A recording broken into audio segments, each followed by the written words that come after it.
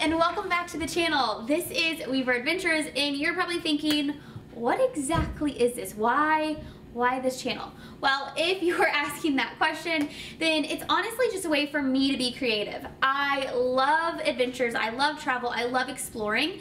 Um, and one of my biggest dreams has always been to go out and explore the world and share that with other people because traveling growing up is not something that I did.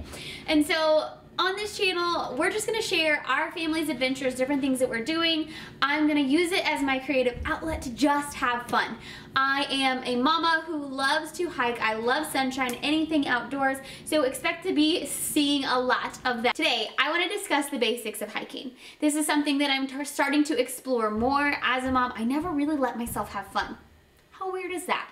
I instead put my kids as my number one responsibility. And I love them and they're amazing, but sometimes we have to remind ourselves it's important to take care of us. It's important to do things that we love too. There's no shame in that. So something I love is hiking and I'm diving into more of that. But before I really dive into it, I've kind of had to, to start somewhere. And the biggest question is, where do I even start? Because it's, it can be overwhelming. There's so much information out there. But I want to assure you that you don't have to have any special equipment in order to start hiking. You have to have your legs, some shoes, some water, and a trail, and that's pretty much it, right? So I want to share the basics that I have used up to this point um, before I start diving into all of the new gear that I find, the new things that I'm using. I want to show you what I have. So to start out, I actually would hike maybe one, two, I've hiked up to four miles in like Walmart brand shoes. I definitely don't recommend it because they are not the greatest and especially the support, you're gonna feel it the next day. But Walmart shoes and a simple backpack. Doesn't matter what kind of backpack, it is just, this is just a simple one and then a front pouch. Easy peasy, nothing special. I would put snacks in that, and especially we hit up Turkey Run and we hiked all day and with my Walmart shoes and that backpack and it was perfectly fine. I love to make sure I have all the water.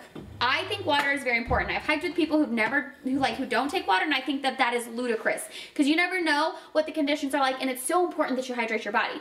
So when I hike, I normally take one of these. That way I can just hook on with me and I have one or multiple of these, especially if I have my kids with me, my family with me, sitting in the vehicle waiting for us when we get back. And then you also can get these fancy dancy um, water bottles that you can fill up and carry with you. Oh gosh. So that once they are empty, once they're empty, you simply just squish them back together and throw them in your bag. Once I realized I really enjoyed hiking and I wanted to get out on the trails more, I invested in some shoes. I actually invested in these in running for running. Um, Brooks, I am such a cheapskate. I do not like spending money on myself at all. But I wanted to run a triathlon and so I knew that I had to invest in better shoes because my shins would constantly kill me got these puppies and oh my gosh the difference that it makes. And I love them so much that I decided to actually turn them into my trail runners. They are my hiking shoes. Now I love that they have a little traction here. As you can tell they're muddy because I took them out on the trail.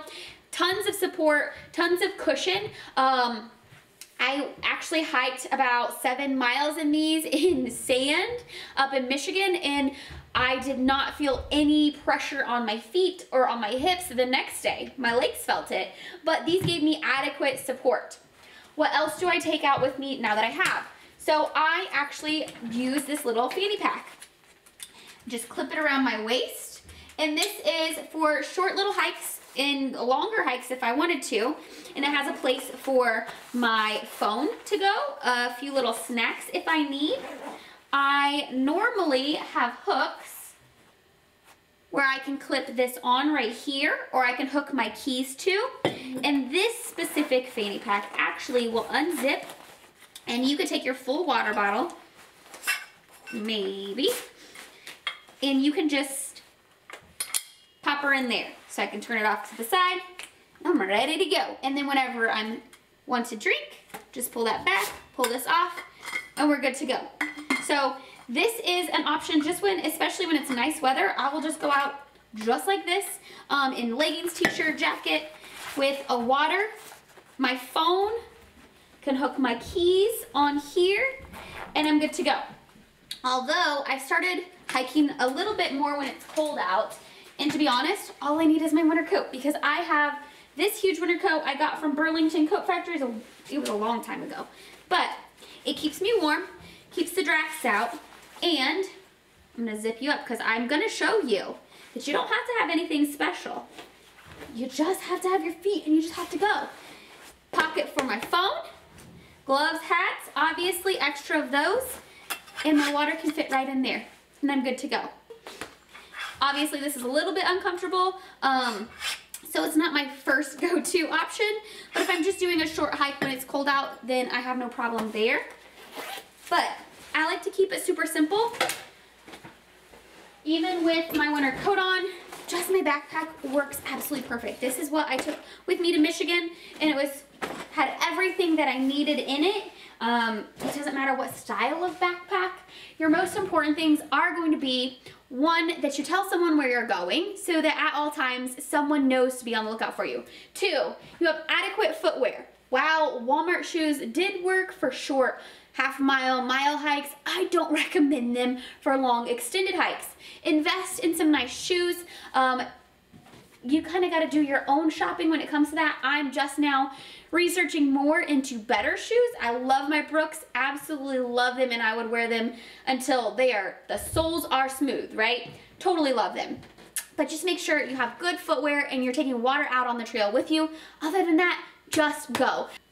So you have shoes, you have water, but now what? One of the biggest things was, where do I go? Where do I go? I don't, I don't know. I've never hiked before. So what I did was I actually downloaded an app. It's called AllTrails and it's actually absolutely amazing. It can be set for your location and it can search the surrounding areas for trails that are near you. Or maybe you're going to some other place. While you're in that place, you could simply open your AllTrails app, look for trails nearby, and it's gonna give you everything that there is. It's gonna tell you the distance, the difficulty, and you're gonna have other users feedback from those hikes. So I definitely recommend downloading that um, and I'm super excited for you. I'm excited that you're diving into getting outside, spending time in nature, and going hiking. And if this is something that you're interested in, definitely hit the subscribe button so that you all you get all the notifications for my new videos and you get to partake or adventure along with my family and I. I hope this channel is it brings you joy. I hope this channel brings you joy, some help, some tips, advice, and, and I'm always here to answer your questions and share as I learn along with you. So happy trails!